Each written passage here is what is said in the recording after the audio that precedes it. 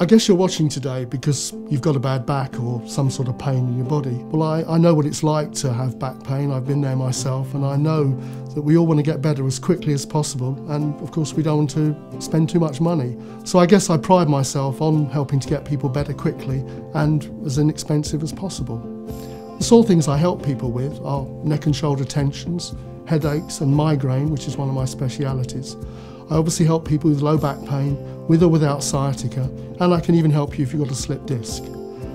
And a good percentage of my patients have osteoarthritis, which I help keep at bay. So if any of that is in, of interest to you and you'd like my help, please give me a call.